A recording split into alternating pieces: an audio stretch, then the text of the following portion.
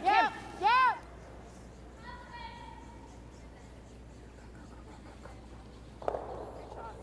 Nice. One? One yellow.